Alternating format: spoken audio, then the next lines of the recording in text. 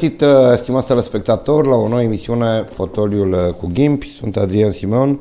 Iată-ne împreună în studioul Capital TV. Sincer, mă bucur pentru faptul că s-a terminat campania electorală. Nu mai trebuie să aud promisiuni, să văd tot felul de oameni competenți, care de care mai competenți.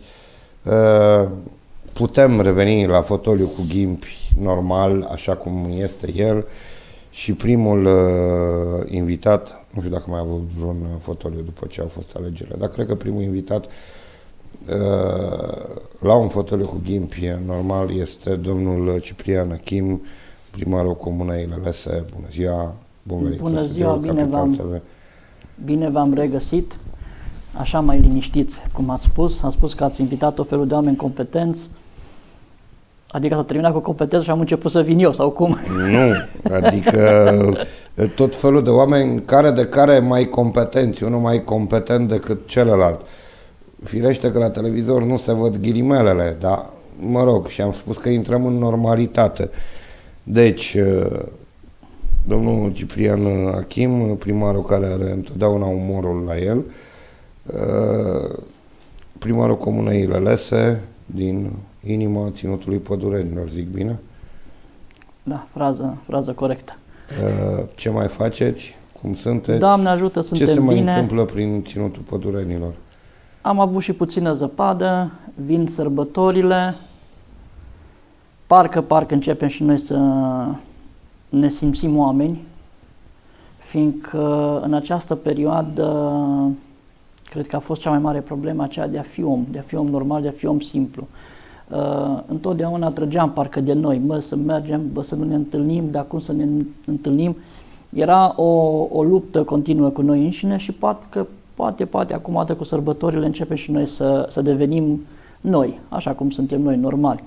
După campanii electorale, după tot ce înseamnă lucrul ăsta. Da, bun, ținutul noastră uh, nu că n-a fost afectat de civilizație, că aveți drumuri, aveți apă, aveți canalul, aveți inclusiv panouri solare, uh, dar e mai ferit, așa, într-un uh, anume fel de nebunia vieții cotidiene din ultimii ani. Da, este adevărat. Uh, întreg județul Hunedoara a fost cât de, în decursul istoriei puțin mai ferit de ceea ce înseamnă modernism și influență de afară. Și comportamentul nostru este puțin altfel. Uh, prin istoria românilor, noi am avem unul dintre cele mai mari păcate ca și popor. Și nu vreau să fiu rău înțeles, dar uh, venind atâția peste noi, uh, cel mai mare păcat care îl avem și suntem oameni frumoși, suntem oameni deștepți, suntem oameni cu simțul umorului, Uh, suntem oameni harnici, dar avem un mare defect care ne aduce uh, și ne ține la margine de Europa. Avem un comportament de slugă. Aole. Deci avem un comportament de slugă care se manifestă mai ales la, la vârf. Când spui slugă, nu spui un om lipsit de bani. Că sunt foarte mulți sluși care au bani și foarte mulți stăpâni care nu au bani. Stați că asta e interesantă. Și deci, de aceea... Două secunde, Nu, nu, nu, numai puțin, că, că să, să termin răspunsul la întrebare. Și de aceea, uh, ținutul pădurenilor. Uh, suntem într-un județ cu trei, cu patru zone foarte bine distincte care s-au păstrat. De ce? Fiindcă nu a intrat globalizarea, simțul de, de slugă. Deci noi suntem noi, noi pădureni suntem noi pădureni, punct. Moții sunt moți, punct. Nu mai sunt altceva. Uh, cei de pe Valea Mureșului, iarăși, foarte, foarte, foarte puternici și uh, cei din Valea Jiului, mămârlanii, care iar au un simț foarte puternic al lor, că sunt ei, simțul acest simț de identitate. Și restul? Cum și restul? Restul sunt aglomerații de oameni care le poți manipula Bun, cum vrei. Acum ne referim la nivel național. La nivel național. Uh, cel mai ușor poți manipula acolo unde ai uh, o aglomerație de oameni fără identitate, care nu mai poate păstra identitatea. Dar moldovenii? Uitați-vă, uitați-vă. Hai, hai să vorbim și despre moldoveni. Nu cunosc moldovenii. Că, vedeți și nu cunosc. Eu, eu nu cunosc moldovenii, n-am, eu, eu Bun, vorbesc ei despre... au migrat foarte tare. Nu, e interesantă, e interesantă din punctul meu de vedere, domnul primar, chestia asta cu... Uh, n-am înțeles-o, poate mi-o explicați. Uh, cu sluga. Sluga care are bani și stăpânul care nu prea are bani. Corect. Păi cum poți să fii slugă la În un istorie- stăpân și hai tu să- să ai bani și să fii slugă la un stăpân care nu prea are bani? Păi nu, că nu e slugă la același stăpân. Aha. Deci, Deci nu nu- e slugă. Deci faptul că, faptul că tu înveți să citești și faptul că tu ai bani nu înseamnă că nu e slugă. Sluga numărul unu în România este Iohannis. Uh, Deci președintele României este eticheta generală de slugă. hai, nu, e, nu sunteți cam dur acum? Nu sunt dur. Și ne face și pe noi slugi. Dar cu, la cine e slugă Iohannis? Că nu, nu înțeleg. La oricine altceva decât Vă- vă propriul aparțin popor. afirmațiile Da, mi atunci? aparține, da. Are un comportament de slugă. Nu, nu știu, uh, asta mi se pare mie. Așa mi se pare. De ce? Un om care nu este slugă și mă, când îți faci un buget acasă, da? Când îți faci un buget acasă, dacă ești stăpân pe tine, tu întrebi, mă copile, tu ce ai nevoie anul ăsta? Și vezi cât ești de bogat sau de sărac. Și a spune, domnule, eu la vară vreau să-mi iau o bicicletă că toți copiii. Mă, o să fac cumva la vară, când vând vițelul, din banii aia să cumpăr o bicicletă. Dar ăla e comportament de om normal. Sluga nu face niciodată așa. Niciodată o slugă nu își programează, bă, la anul eu îmi cumpăr o bicicletă. Ăla mere și cere, bă, dacă îmi dai bicicletă, mamă ce te lau, ce te peri, ce te nu știu ce Dumnezeu. După aia merg la altul, bă, dacă îmi dai un calculator, mamă ce-ți fac. Înțelegeți cum zic? Și de aceea spun, de când Iohannis președinte, niciodată n-am putut să avem un parlament care să facă un buget la timp. Niciodată. Nici nu i-a păsat lui că România trebuie să aibă buget. Lui i-a păsat să cadă bine cu alții. Sau credeți că el este stăpânul absolut?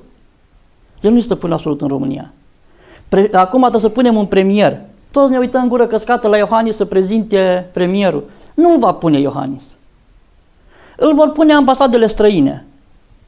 Deci Da, și și- Constituția spune că premierul este propus uh, de către uh, președinte și votat, de, ac- votat acceptat de către Parlament. Da, este propus. Este propus. Dar la inițiativa cui?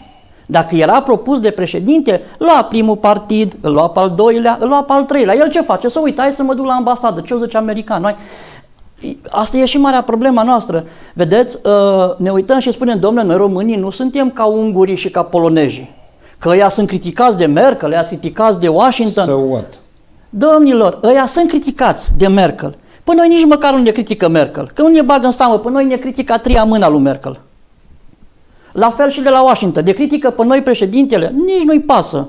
Ne critică a treia, a patra, a cincea mână a președintelui.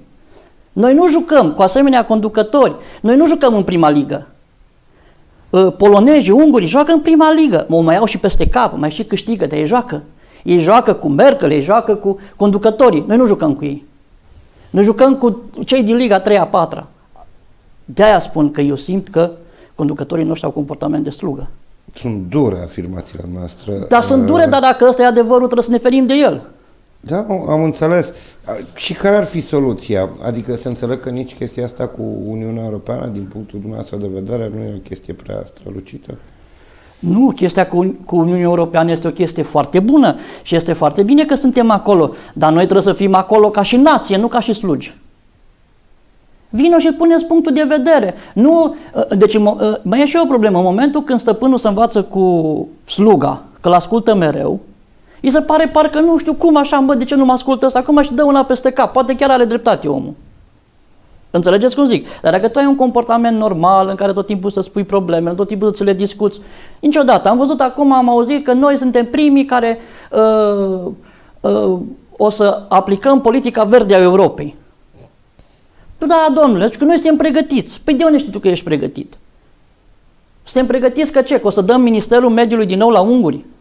O să dăm din nou și o să pățim cum ce am pățit când a fost Ministerul la unguri. O să tăiem pădurile de numai numai, da?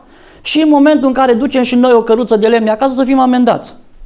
Wow. Mi s-a întâmplat. Mie mi s-a întâmplat. Mie mi s-a întâmplat când eu am fost anchetat cu poliție, cu toți am fost de vreo 5 ori să măsurăm că am tăiat de pe pășune și nu le ieșea. 120-130 de metri cubi, 140 de metri cubi. Și treceau camioanele de Brașov și de Covazda pe lângă noi pe rung, câte 30 odată. Într-o zi duceau de 5-6 ori mai mult decât s-o tăiat cu tot acolo. Și nimeni nu i oprea. Domnii ofițeri de la garda de mediu așa stăteau cu spatele. Că îi chema Ferenc, Ianoș, cum dracu îi chema și ei erau trimiși acolo Acum să rezolve nu alte aș vrea probleme. să dăm o tântă naționalistă. Nu, nu, nu, nu, nu, nu, nu, nu. Uh, Am și foarte mulți prieteni și colegi, uh, nu, nu se pune problema asta, dar uh, spun că nu e bine să avem un astfel de comportament. Este altul. Pădureanu nu are comportamentul ăsta. De aia și are și-o păstrat tradiția. Fiindcă el nu, el, el nu se simte. Nici comuniștii. Deci comuniștii nu ne-au făcut sluși pe noi. Pe pădureni. Adică v-au lăsat în pace acolo. Nu, au venit, au făcut ceapeu, Așa. ne-au luat pe hârtie terenurile, dar de lucrat noi le lucram. Și le dădeați... uh, Și le dădeai cotă din producție. Și se făceau ca întotdeauna, o parte din terenul se lucra, o parte se lăsa, niciodată n-au reușit să sară peste noi. E mult mai rușinos, e mult mai rușinos să te înjure satul cât ți l-ai trădat, decât poate, ce să zic eu, nu știu, poate să faci pușcărie. Năstase. Năstase nu și-a dus până la capăt, nu a vrut să fie slugă și l-a băgat la pușcărie. Uitați-vă ce-au pățit slugile. Cei mai mari oameni care au avut Păi bun, acum l-au agățat pe Năstase cu geamurile de termopan. Domnule, cu- de agăța poți să... De, de, de, de ce nu se agață Mătușa, nemții între ei? Oare este chiar atât de curați? De ce nu se agață între ei? Fiindcă nu se agață, fiindcă au slugile care să le agațe și să le vânture. Au, au oameni de agățat, că e plină lumea. Nu se agață între ei. Uitați-vă la, la, la uh, acum șase ani, șapte ani, erau doi mari conducători ai România care își împărțeau puterea în stat. Era Băsescu și era, trei de fapt erau. Era Băsescu care era președinte, era cei care s-au rupt din PNL cu uh, Tăricianul la cam, uh, care uh, ținea în mână tot ce înseamnă legislativ și la executiv era Ponta. Comportament de slugă. Când se certau între ei, se duceau toți cu câte o hârtie la Bruxelles. Adică și insinuați că și Băsescu a fost slugă? Da. Păi și ce conducător am avut noi care n-a fost slugă atunci? Care n-a fost slugă absolut deloc. Deloc. Uh, Pe toți pe care i-am împușcat. Mihai Viteazu, Cuza care l-am Bine, trimis pe Mihai înapoi. Viteazul l-am pușcat, i-am tăiat capul. Păi nu, da, bine, că nu se inventase, i-am- da, i-am mă rog. omorât, da. Așa. Deci ăștia n-au fost. Ia, Mihai Viteazu. Cuza și vedeți cât s-a mai omorât. Inclusiv, inclusiv Ceaușescu. A fost un om cu un comportament care avea un comportament de slugă mult, mult, mult, mult, mult, mult mai, cum să spun eu, mai cizelat și mai mic decât îl au conducătorii de acum. De a și reușit dezvoltările care le-au și să le facă. Da, interesant uh, lucrul ăsta cu Ceaușescu, care he, a avut și el comportament de slugă, dar nu chiar, uh, nu chiar așa. Eu eram destul de mic pe vremea aia, uh, nici dumneavoastră nu cred că erați foarte, foarte mare, dar uh, istoria trădării la români uh, ne vorbește de-a lungul timpului despre capacitatea unora de a fi mai mult sau mai puțin uh, slugi. Uh, haideți să ne gândim, haideți să ne gândim la altceva, că vorbim de trădare. Poporul român și-a trădat, de exemplu, acum la alegeri pe acești trei conducători mari. Efectiv i-a trădat, nu i-a mai votat, i-a lăsat deoparte. Ceea ce ar Nu fi... știu dacă i-a trădat sau i-a sancționat. I-a trădat. I-a trădat. E, pe că eu așa o, o consider ca o trădare pentru un popor care după 5 ani, 6 ani nu-și mai alege foștii conducători la care să te în genunchi. Și de ce o spun asta? Dar de ce au făcut-o? O mai Fiindcă venim așa am niște- fost educați, nu, nu că au venit altcineva, fiindcă așa am fost educați, fiindcă cei care au trădat primii au fost ei. Primul a, care a trădat poporul a fost Băsescu. Când a fost a dat afară de popor și el a venit din afară ca o slugă și a impus să rămână.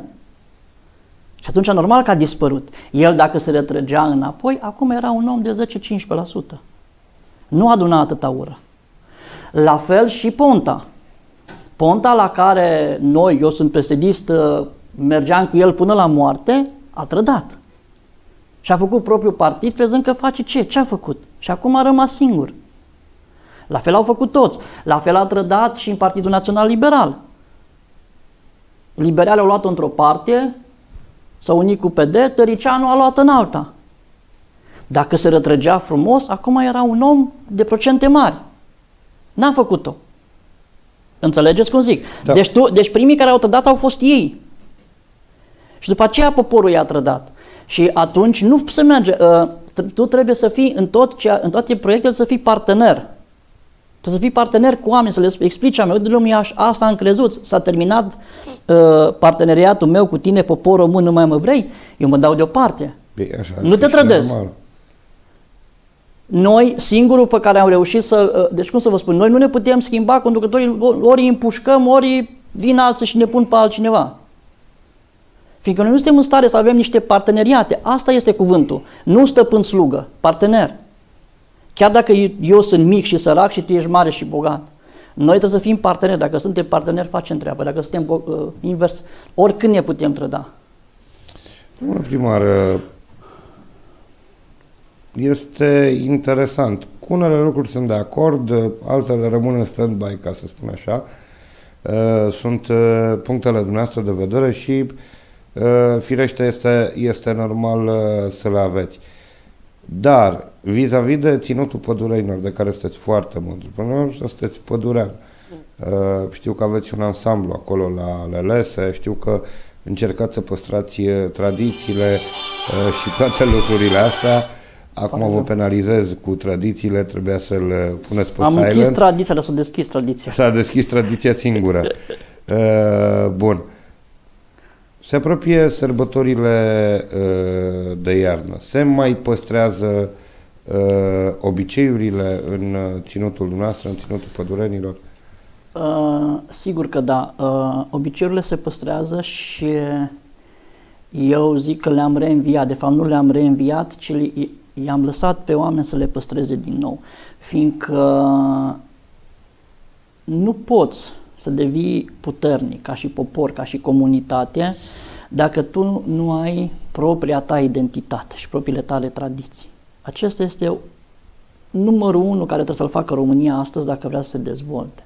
Să vadă ce e bine în poporul ăsta și pe acel lucru trebuie să-l dezvoltăm ca să putem să ținem unii la alții. De exemplu, acum am avut o familie care are probleme au murit părinți, au rămas doi copii mari, la 30, 30 ceva de ani, dar fără venituri. Ei bine, trei sau patru zile am lucrat să-i facem graj, că nu mai avea graj unde să țină vaca, toată comunitatea. Toată comunitatea. Chiar dacă unii mai făceau mișto și zicea, bă, pe un strâng ziua pentru vaca ta, dar venea și punea mâna. Vedeți? Asta înseamnă cât de cât să fii unit. Să nu ai comportamentul ăsta de l-am spus înainte. La fel uh, și sărbătorile de iarnă. Sărbătorile de iarnă înseamnă, dincolo de faptul că merem cu colinda, înseamnă faptul că noi ne putem vedea toți unii pe alții, fiindcă asta înseamnă colindul de iarnă. Înseamnă că o generație întreagă, când spun o generație, spun de la 16 la 40 de ani, se vede toată.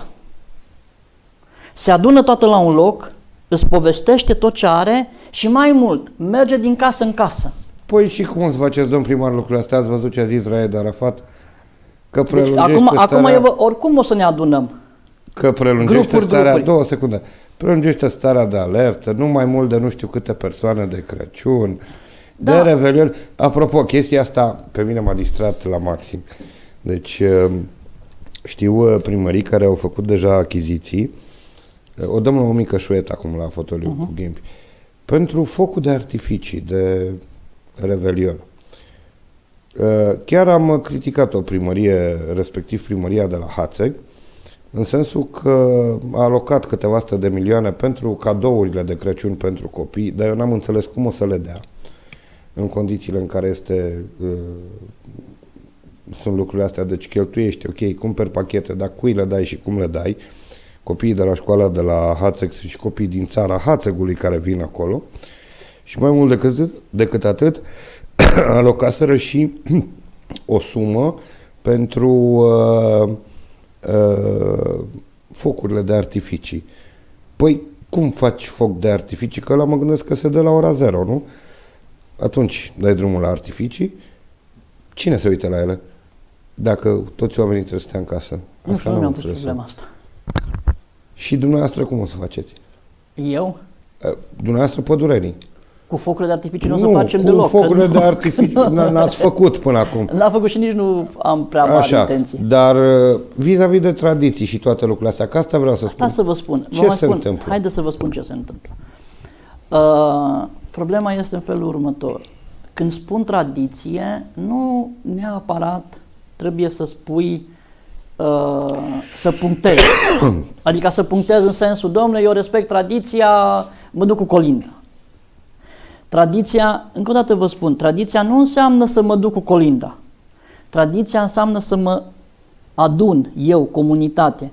Și ce e mai frumos aici, nu este numai că mă adun, că eu adunată comunitate intru în casa fiecăruia dintre noi. Țin minte, probabil erau cele mai frumoase lucruri și era ca un mod de a te expune pe tine.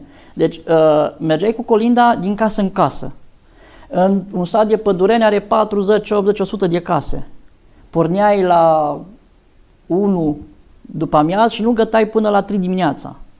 Fiindcă în fiecare casă trebuia să stai 20-30 de minute, uh, cel puțin acolo unde eram și noi, ăștia mai, mai tineri. un păhăruț, mai o plăcintă, nu, nu, mai... nu, nu, nu era păhăruțul și plăcinta. Păi nu, dar Problema era alta. Problema e că tu intrai în casa omului și socializai acolo. și socializai, iar în momentul în care intrai în casa omului, tu povesteai despre acel om, despre familia lui. Deci când intrai acolo, să aminte, bă, mai ții minte ce mic erai tu când am fost noi prima dată sau trăia și bătrânul fiertat care acum nu mă ieși ne, cu ce ne omenea el. Mă înțelegeți cum zic? Mhm, am înțeles, de, da. de, deci tu, uh, și de aceea, uh, întotdeauna ce se primea, să cinstea la colindă, care era poate mai mult decât colindu.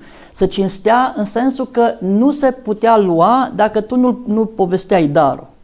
Și darul era așa, era pâinea, era carnea, că ieșeai din post, era pâinea, era carnea, era țuica și era fuiorul. Păi și cum le povesteați?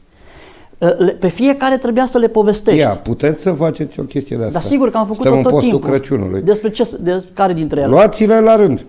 Colacul. Deci la, la colac, eu la colac pot să cinstesc și un sfert de oră să povestesc despre colac. Așa. Luai colacul și, și îl arătai Îmi pare rău că nu oamenilor avem un colac aici. Ar trebui și să... îl, dau, găsiți înregistrări cu mine Da. cu colacul, că am destule. Și te apucai și povesteai despre colac. Spune că gazda nostru cel frumos, Simion, ne cinstește cu un colac uh, de grâu frumos și ne cinstește bucuros. Ehă, el cu hăi patru cai surd, dacă ai patru surzi, sau dacă ai un tractor verde, da? Spuneam, merea la Araș, uite Araș, sămânaș și ia uitați-vă ce lucru fain frumos făcea. După aia merea la doamna lui, da, la Mărie. Ehă, și Mărie, păi Mărie când vede cum era, cum grâu să se cera, se gândea să meargă la moară, dar moara nu merea, că la noi în sat numai o moară rea, care nu merea, numai când tuna și fulgera. Bă, și săraca moară, când începu o ploaie și văzu atâtea cară, pus să cadă pe spinare și fugi pe părău la vale. Foarte frumos. Bun, deci asta e despre el. Despre colac. Despre colac. Deci, uh, întotdeauna, uh, noi n-am apucat să fim, uh, fiind izolați, nu, să nu uh, fim sub nimeni. Deci noi n-am avut un conducător. Noi, cei care ne-am condus, a fost obștea. Și tot ceea ce se întâmpla era nivel de obște. Adică exista un sfat al bătrânilor? Sau Da, sfatul exact. obștii? Deci tot ceea ce făceai tu era în fața satului. Și căsătoria. Deci căsătoria am mai povestit. Era în Am mai fața povestit satului. toate, da, dar Dacă le aducem satul aminte. zicea ok, era ok. Dacă nu zicea. Și atunci se consfințea cu două lucruri. Cu pâine și cu vorbă. Deci hai să o luăm așa. Doi tineri se iubeau, Da, da? Da. Ca să se căsătorească, se aduna satul undeva, nu? Da cum? Ei se iubeau. Ca să căsătorească, trebuiau să pice de acord cu părinții. Deci să fie și părinții de acord. Bun. Și acolo apărea un fel de dăm și mie, nu, fiecare mai avea fras, trebuia să-și facă familie nouă, dăm și mie, dăm trivaci de delea, dăm patru vaci, unde, ce facem cu copilul? Și atunci apărea nănașul, nănașul care avea o forță foarte puternică, care venea și negocia cu părinții. Asta n-am povestit. Și spunea părinților, măi, vedeți și voi, uh, uh, asta se numea că mergi pe țători. Așa. Și atunci tu mereai și vedeai unde să pune, dacă uh, ei rămâneau În casa Uh, fetei în casa sau a fetei, băiatului? a, dar atunci mereai uh, prima dată pe țător cereai fata, după aia se întorceau înapoi la băiat și veneau și negociau. Că Făceau că mere pe... și negociau lucrurile astea. Domnule, vine ficiorul la noi, dar uite, noi îi dăm o căsuță, mai trebuie, nu avem, nu, avem triboi, de unul mă pot scăpa, nu mai dai tu măcar un bou sau o vacă să poată. Mă uh-huh, înțelegeți cum zic? Uh-huh. No, bun. Fiind toate ăștia puse la punct. Da, asta era înainte. Asta era înainte, urma nunta. Așa. Nunta nu însemna că te duci la primar. Bă, nici nu adică nu primari. cu hârtii, cu... Nici nu se pune problem. Dar eu am avut, eu am spus, eu am avut o grămadă de oameni la 70 de ani care i-am cununat. De ce i-am cununat? Că se gândeau ăia că mor și nu pot să-și mai fac actele pe pământuri. Înțelegeți? Da, Atunci da, da. veneau la mine sau dacă aveau vreun caz în casă, ziceau, bă, nu-i cununa popa. Nici la popa nu mereu. Deci popa n-avea ce căuta în cununia... Da. Uh, în, nu avea ce căuta, nu eram învățați cu popă. Popa era cineva care o fie ce acte sau care... Mă înțelegeți cum zic? Da. Asta e mentalitatea noastră. Acum, Da, da, da, e Și o o spun- chestie o spun- păstrată din uh, Da. bătrâni Și atunci, uh, după ce se încheiau toate astea, urma nunta. Când cereai mireasa, dacă mireasa ieșea afa- era cerută de mire și veneai cu alai, cu muzică și cu alai, și cereai mireasa și mireasa ieșea afară și o învârteai pe sub mână și o verificai, o arătai tot la tot satul. Mereai cu alaiul pe drum și arătai, domnule, uite, ăștia doi s-au luat. ca să știe toată Ca să lumea. știe toată lumea. Și după aceea, uh, după aceea strigai colacul și darul. Darurile începeau cu colacul întotdeauna. Uh, Pâinea este singurul lucru care te ferește de rele. Dacă pe apă poți să faci blesteme, pe apă de mor, pe apă de orice, Așa. da? Pâinea nu, niciodată nu poți să faci blesteme. Tot ce înseamnă cultura poporului român de la ortodoxia românească, totul este pe cuvânt, pe rugăciune și pe pâine. O cultură a pădurenilor plină de uh, Nu mis- este plină- misticism. Uh, Uh, păstrează, păstrează încă la bază ceea ce am avut poporul român vechi. chiar, Este cu unele, nealterată. chiar cu unele elemente păgâne, am putea spune? Chiar unele păgâne, chiar unele creștine. Uh, V-am spus, deci uh, tot ceea ce înseamnă ortodoxism românesc este pe pâine. De la prescură, anafură, când pui pe răstas, totul este pe pâine și pe cuvânt. Acolo nu poate să intre altcineva, nu intră ce necurată pe pâine. Și acum cum e, domnul primar? Se mai păstrează obiceiul ăsta cu mireasa? strigatul? Cu, cu strigatul, cu Dar cerutul, sigur că da, cu dar cum satul, să, sigur, cu... sigur, eu am foarte mult de lucru în zona asta. Adică, na, mă gândesc că acum nu se mai uh, negociază la un bou, la o vacă, la o... Păi nu, dar se negociază, se cer. De se cer, adică n-ai, este, n-ai cum să faci o nuntă fără să întâlnească familiile între ele și să vadă, bă, ce fac copiii ăștia de cu înainte. Unde stau, unde... unde nu știu stau, ce. unde și cu ce trebuie ajutați. A, dacă îți plecați pe undeva, dar și dacă îți plecați pe undeva departe, când fac nunta, tot vin ac- aici acasă și spunea, mă, să vedem ce facem măcar pentru nuntă, măcar când veniți acasă. Când veniți acasă, fiecare familie, când vine acasă, are pregătită câte o cameră pentru familia tânără. Da. Chiar dacă amândoi sunt pădureni și ei stau în Cluj, și la fată și la băiat au câte o casă care e casa copiilor. Ai o pregătești așa din instinctul tău de a pregăti ceva, de a avea o stabilitate. Dacă se întâmplă ceva la Cluj cu ei, să vină, "A, unde sta? Să aibă unde sta. E, când vine acasă. foarte, foarte tare chestia no, după asta. aceea se strigă m, cârnațul. Cum adică? Deci sigur și cârnațul, fiindcă este pâinea, cârnațul, băutura sunt pentru toți cei care colindă, fiindcă el va, e prima seară când mănânci de fruct. Teoretic. Sau la dumneavoastră Pe se cam ține așa cu- era, cam așa era pe vremuri. Cam așa, Așa. era. No, și atunci strigai cârnațul. Și zicea că gaza nostru hăl bun. Cinstăște cu o dărabă de cârnați de porc din porcul lui hăl mai bun. Dar ce că porcul lui nu-i întreg. Că hăl mult l-a ținut în t- pod. Nu m-a ținut că ne-o dat și nouă, o ținut de cârnăciori. Că dacă întreg era porcul, he, avea o urechi cu care ne-ar auzi. Ar avea coadă cu care ar avea uh, coadă cu care ne-ar vântura și ar avea uh, botul care zice guiți, dar noi fa- nu mai zicem guiți, zice numai fâștâc și dai cu el acolo în straiță și te duci. Fâștâc? Fâștâc, da, cum face când, cârnațul când îl A, bagi când îl da, bagi da, în... uh, ge- da, Da, dar bun e și fâștăcul ăla până la da, urmă, nu? Da. No, după aia trebuie cinstită țuica. Ia, asta e interesantă, ia să vedem. Și țuica zice așa, uh, a nost Ion ne cinstăște, aici era o problemă. De exemplu, uh, cei care aveau țuică foarte bună și vreau să ți-o dea, ăla venea în față și o cinstea. Cei care aveau țuică bună și erau mai uh, Zgârciri. zgârciți să dea o țuică mai ră și o și vărsau acolo. Nu mai așteptau ca să o strici, ca să o guști. Cum adică vărsau? O, o vărsau, o băgau, A, o băgau în, în, în damigeană, recipientul cu recipientul care- care meream da, noi, da, da. sigur, știi, dacă nu uh-huh. ne zicea, da, și, și zice, atunci, dacă el ți-l cinstea, în mâna ce trebuia să-l Cinstea, strici. adică bea din ea. Nu, nu, nu, ți-o cinstea, ți-o dăruia. Ah. A, a cinsti înseamnă a dărui. Interesant. Adică ați face cinste cu ceva. Da, da, da. Nu și acum, te cinstesc cu ceva Da, sau te fac cinste. Da. cinstesc. Atunci venea și nu, uh, cu o sticlă de vin ars. Uh, bine, uh, frazele clasice, să bem să ne treacă de năcaz, că Mm. cu dopul dăm după ușă, cu vinarsul dăm pe gușă. Deci asta e o sticlă împletită cu cercuri de bercuri, dacă bem mai încet ajunge până miercuri. Ehe, dar are și un dop de alun să gustăm cât e de bun. Și atunci scoteai dopul Știi? Și gustai să vedeai, e bun sau nu e bun. Și pe aia zicea, a, e bun sau bă, e la apă, apă chiară, știi? Adică dacă nu era bun, ziceați că Păi nu cum e să bun? nu? Cum să nu? Ia Eu, uite. eu și acum când mai merg la anunț am pățit cu vinarsul de... Veneau și săraci îl beau pe mașină sau nu-și mai puneau ca să nu-și murdărească sticlele și când veneau să mă cinstească era sticla goală, știi, numai de filmat ca să le filmeze. Și atunci adună, ă, ai da bunii mă, dădeai că el așa și nu curgea deloc, știi? Îi făceați de minune, domn Dar primar. cum? Și zice în felul următor. Și zice, a, păi Ion când au făcut ăștia, nu le-au făcut aici în vârful dealului la Lelesă, le-au făcut acolo undeva în vale, unde mere mândra să spele țoale.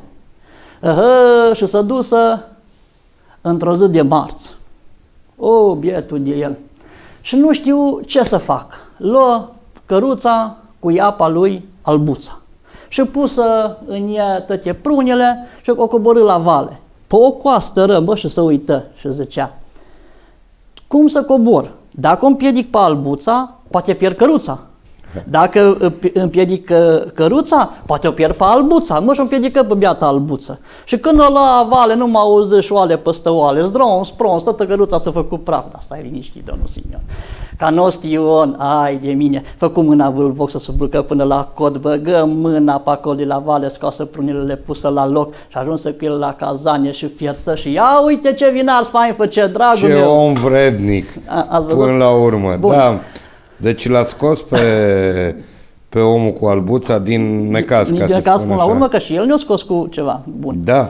Da, se mai păstrează, domnul... Ah, ați vrut să vă spuneți Uh, ceva? da, le păstrăm, fiindcă noi încă mai mergem și încă mai povestim. Dar tinerii prind gustul la chestiile astea? La început sunt foarte reticente, după aia prind. Reticenți în sensul de rușinați, jenați? Nu, că zic, sau... bă, ce să mă duc eu așa și după aceea îi vezi cum intră în joc. Eu știu când Mhm. am intrat prima dată în joc, uh, în jocul ăsta. Dar uh, mai uit un element care e foarte important și care rog. îl uităm și noi acum. Este fuiorul, fuiorul de cânepă. Așa. Uh, când De mergeai, ce de cânepă și nu de lână? uh, Sau e era de, de ce era, fiindcă lâna era destul de rară. serios? Da, era mult mai deasă fuiorul. Păi pădurenii nu creșteau oi? Păi Multe? creștinii, fi- uh, uh, noi creșteam moi, noi nici măcar nu tăiam mii de Paști. Serios? De noi, ce? Îi vindeam să facem bani. Aha. Îi tăiam după aia, mai către vară, când erau mai mari. Noi nu stricam ei de Paști, că erau prea mici ca să-i strici.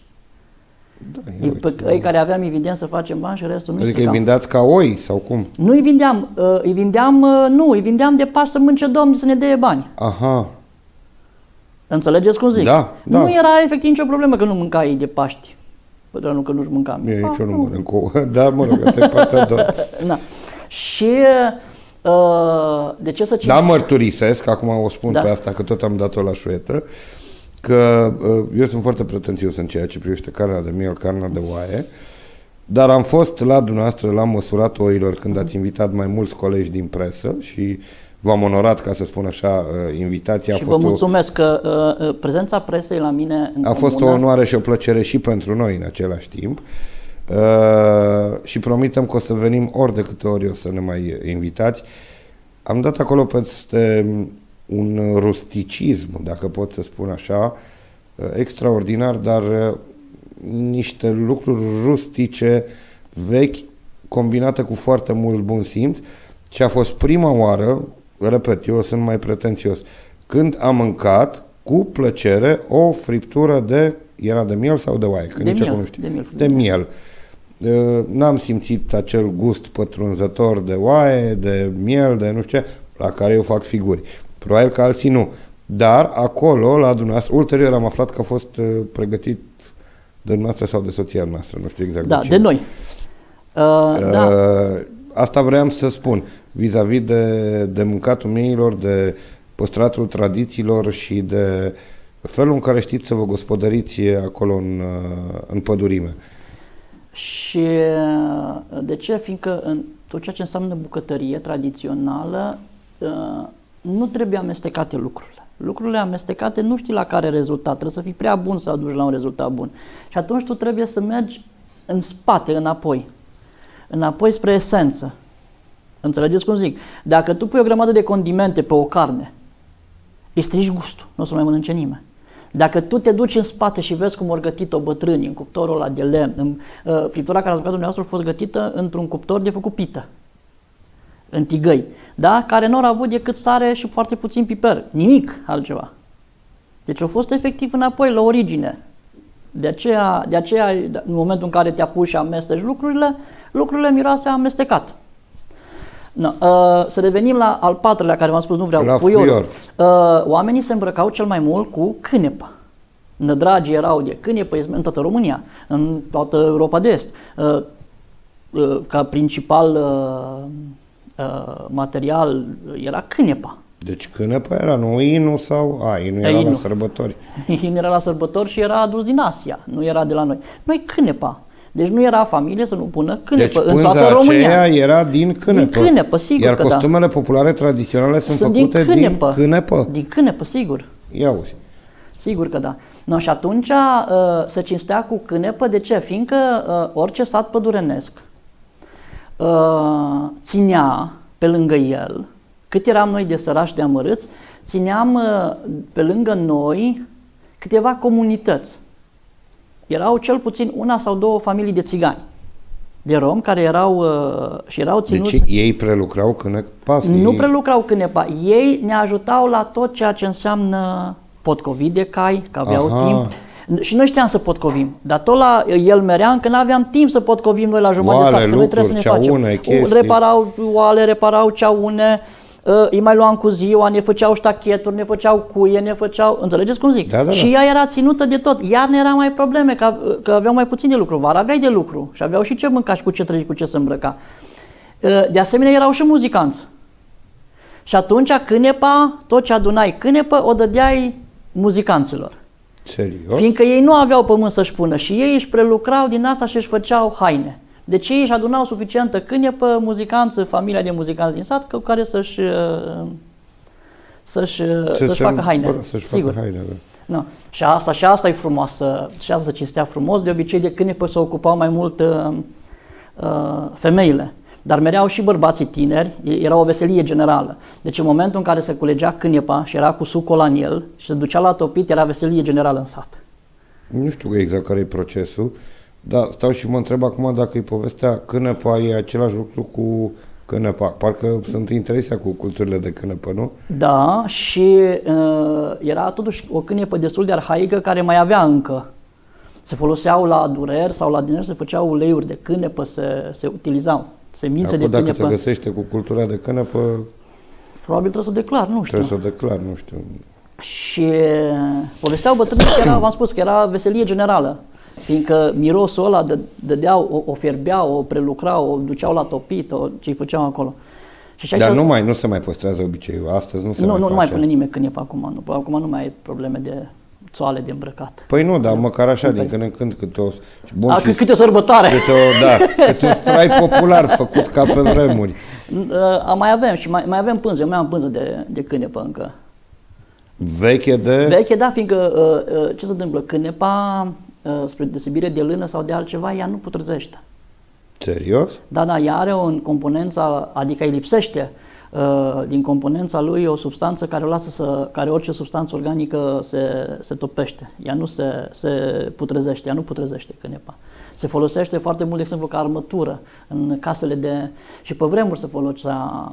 Am găsit acum câinepă băgată într-o casă bătrânească căzută, între zidurile de piatră, cu pământ și cu câinepă băgată, care să, să armeze piatra, să nu, să nu se desfacă. Uh, bun. Și să revenim. Ce veți face de Crăciunul ăsta? Noi, păi probabil o să stăm pe acasă fiecare, o să ne transmitem mesaje și o să ne aducem aminte ce am făcut, să povestim exact, o să, ne, o să luăm pe fiecare la rând, dintre noi, din grupuri, și eu chiar am vorbit acum cu colegii de la Cerișor, să ne luăm pe fiecare să ne analizăm pe rând ca și cum am merge cu Colinda. Să vedem cum a fost, ce, mă, ce ori mai făcut, dacă nu ne putem vedea toți la, la oaltă. Da. un uh, Crăciun și niște sărbători atipice uh, anul ăsta. Din păcate, da. Uh, Și din păcate, c- cât de mult țin la tradiție, totuși, uh, totuși uh, să nu negăm rău și puterea care o are acest virus și să stăm liniștiți pe la casele noastre. Bine ar fi să ieșim mai mult la lucru decât la chefuri Hmm. și să stăm totuși să ne păzim cât de cât. Am înțeles lucrul ăsta. Uh, Ca și investiții în uh, Comuna Lelese, sunteți mulțumit de ce ați reușit să faceți anul acesta? Uh, da, da. Sunt mulțumit, am făcut niște, am o singură mare nemulțumire, este drumul de la Runcu Mare. Ne-ați reușit din cauza pandemiei și N-a reușit din cauza pandemiei care ne-a blocat uh, nu lucrările, ci ne-a blocat actele. Ne-a blocat actele și n-a reușit Că să din dăm câte drumul. știu eu, drumul era pe finanțare. Era pe finanțare, este ok, dar nu a reușit să demarăm încă, încă lucrările și este o mare problemă. În rest am făcut câteva drumuri chiar frumoase. Drumul de la Sohodol, care cred că este cel mai frumos drum din Ținutul Pădurenilor, e undeva la cota 960-970 ajunge și este foarte bine realizat, foarte frumos. Chiar vă invit când aveți timp să mergeți să vedeți. Cu uh, drag, dar cred că după ce trece iarna. Și acum. Chiar și, acum? este- Da, și acum se poate și chiar foarte frumos. Se vede jumate din țară de acolo. Ia uzi.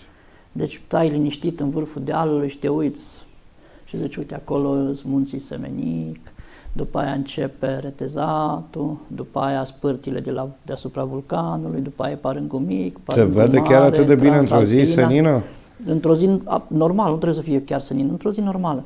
Acolo e Transalpina, după aia vezi mai încoace spre noi, uite, acolo e Hațegu, acolo e Petroșaniu, după aia te uiți încolo, uite, încolo începe Transfăgărășanu și după aia te uiți în spatele ăsta la alt, vezi cum merg mașinile pe autostradă pe aici la Deva, după aia mai în stânga te uiți, uite, acolo e muntele Găina, Ia uzi, foarte interesant. O să dau curs e invitației foarte frumos, da. eh, dumneavoastră într-una din, eh, din zile.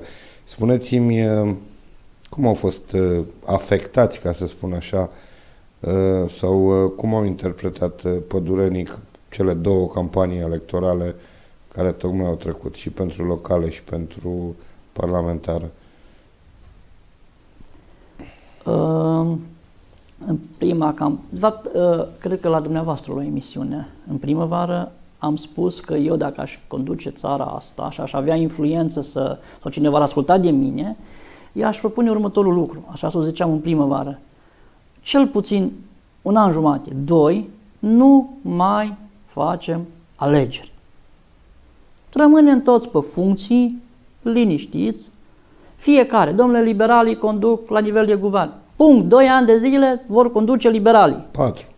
Nu, doi, încă doi de atunci. A, atunci, da. Înțelegeți? Mhm. Doi ani conduc ei, ca să poți să iei deciziile cele mai corecte. Primarii care sunt pe funcții, rămân pe funcții, uh, gu- uh, Parlamentul... De ce? Fiindcă trebuie să iei niște decizii fără să te gândești electoral. Dumneavoastră mi-a spus pe cum te vor implica electoral. Nu se pune problema de mine, că slavă Domnului, eu n-am avut probleme în, uh, în... Cred că am avut unul dintre cele mai bune scoruri din județ. Uh, nu se pune problema mea, dar se pune problema celor care iau deciziile mari. Că nu poți lua o decizie mare, puternică, cu gândul că peste, doi ani, peste două luni te duci la alegeri. Și atunci toate deciziile care au fost luate, au fost luate anapă, dar doar în spiritul alegerilor. Nu a fost nicio decizie luată cu cap și cu coadă. Tată, hai să luăm ceva, hai să nu facem ceva, hai că să facem, Decizii dar nu bine. electorale. Decizii electorale și deciziile țării. De aceea și lumea, ă, la început când au fost campanie electorală normală, au venit, au ieșit la vot. Dar acum lumea a zis, bă, mai lăsați-ne, mă, voi n-aveți de lucru, noi murim, noi ne gândim că nu ce ne facem cu pandemia și vouă vă arde de alegeri, mai lăsați-ne, domnule, cu prostiile voastre în pace. Hm, Am înțeles. Domnule primar, am ajuns uh, la final de emisiune. Din nou foarte repede. Asta e. Uh, Mai facem una uh, cu altă ocazie. Vă mulțumesc pentru prezența în studio. Ce le transmiteți celor care s-au uitat la noi până în acest moment la cameră, vă rog? Uh, Vă doresc tuturor să aveți un an fericit, să dea Dumnezeu să avem pe, la anul viitor, pe vremea asta, niște vești foarte bune și anume că nu o să ne mai îmbolnăvim de acest virus păcătos, să ne vedem cu bine, să fiți sănătoși, frumoși. Doamne ajută! Doamne ajută! Stimați telespectatori, Ciprian Achim, primarul Comunei Lelese, a fost invitat la fotoliul cu ghimpi. Sunt Adrian Simeon, vă mulțumesc pentru atenția acordată. Rămâneți în continuare cu Capital TV. Numai bine!